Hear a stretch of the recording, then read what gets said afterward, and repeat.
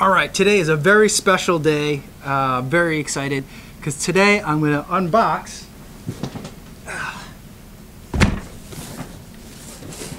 a new projector.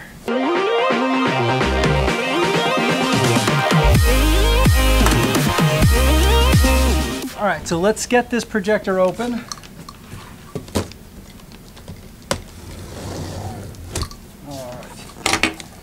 So I'm actually going to put it on the ground because uh, my camera setup is just not big enough to hold all this stuff. This is the Epson Pro G7905U. Now we have a handful of other Epson, I'm trying to look around to see what the model number is. We have a handful of other Epson projectors. I've been really liking the 3LCD technology. Um, super bright performance in the courtroom setting where the lighting conditions are a little challenging. But um, we have two of those. They are 6,000 lumen projectors, uh, medium throw, and in uh, matte black. And I think they are beautiful projectors. I love them. But this week has been particularly busy, and uh, we had to send out one uh, setup for a courtroom with our small projectors. They are BenQ uh, 4,000 lumen projectors. Um, they're nice, but they're not as good as the Epsons. And so when I had to send that one out, actually they just, uh, they had opening statements today. Um, and it looked fine. Uh, the case isn't that uh, complex. It's a MedMal case that involves mostly just documents. Um, so they don't really need a huge projector, um, but I ordered another one anyway. The downside was that projector has been discontinued, and so I couldn't get that one. Um, I called up my rep at Projector People, which, full disclosure, uh, they are not sponsoring this at all, um, but they are a good source for projectors. Uh, I've been buying projectors for them for about 10 years now.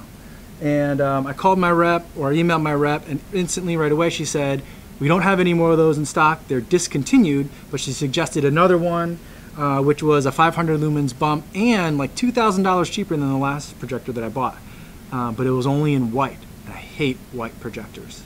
So I got the next one that was available in black. That's the G7905U. And let me show it to you now.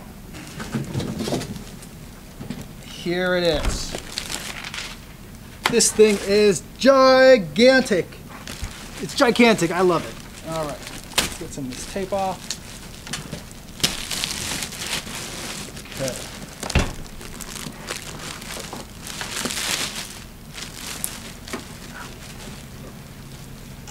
So here is the projector.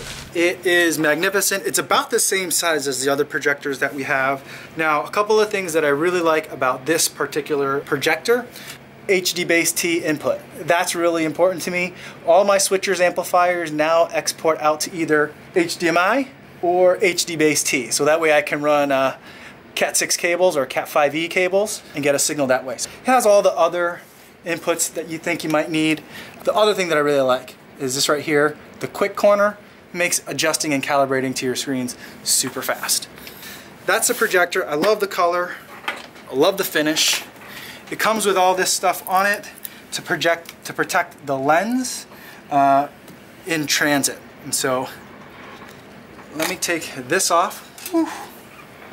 That is a much beefier lens than the one on my current Epsons. Um, but the overall design language is very, very similar. So it looks like a big kind of like jet turbine intake. I'll take off some of this tape, protective tape, get that off.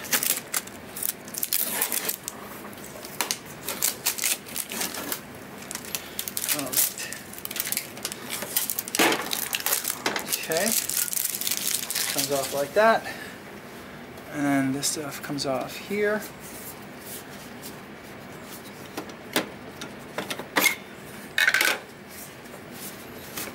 Look at that. Now that is no joke in there.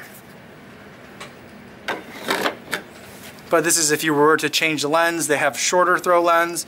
They have a longer throw lens. But just kind of the medium throw lens that it comes with, I think it's probably going to be enough for me. Because um, I think I need somewhere in like the 1.4 to 1.6 throw ratio for the rooms that we're in in terms of where we place the projector and our screens, which are like 100 and uh, know they're 120 inches wide uh, 16 by 9 aspect ratio, so I think like 138 inches diagonal. Okay, now, now most of this other stuff I don't really need, I don't really use it, but let me get it unboxed and you can see kind of what, what else you get. But we've got, all right, CD, a DVD, a CD, other uh, documentation, need it, and then a bag of cables and the remote. So we've got, that's VGA, power cable. I'm not sure what this is. It's like a, like a cover for a switch. I'm not sure. We've also got the remote, which I don't understand why there's so many buttons. But, I mean, usually I just put this in the case and it never comes out because we custom uh, program remotes for our clients to use. The last thing is this shell. So this always kind of reminds me of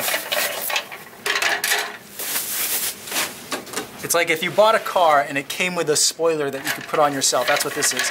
This sits on the back, sits on the back of the projector and um, covers up some of the cables that are coming out of it if you need that. I usually don't put this on um, because it just takes up extra space inside the case.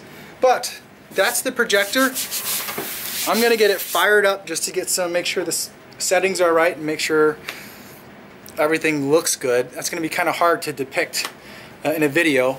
Uh, but instead, maybe I'll just show you some uh, unnecessary slow motion glamour shots of the projector.